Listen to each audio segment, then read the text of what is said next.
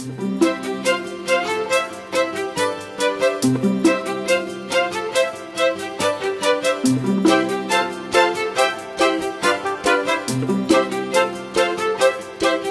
going to Hangzhou for a business trip.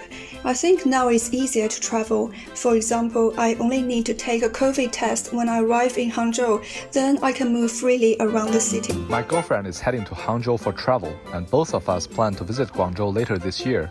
We would like to try the delicious food here.